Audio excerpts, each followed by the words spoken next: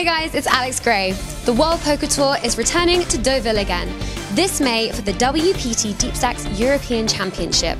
The 1500 euro main event buy-in will run between the 9th to the 12th, and the full festival will run between the 6th and the 12th. Hosted at the fabulous Casino Barrière de Deauville, situated right on the beachfront.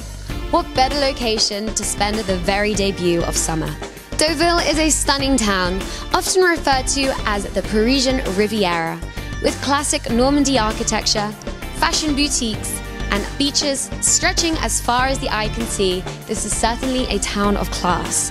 And if you like horses, this is definitely the place for you. How about you challenge yourself and go for a gallop along the long sandy beaches? We can't wait to be back and we look forward to seeing you there.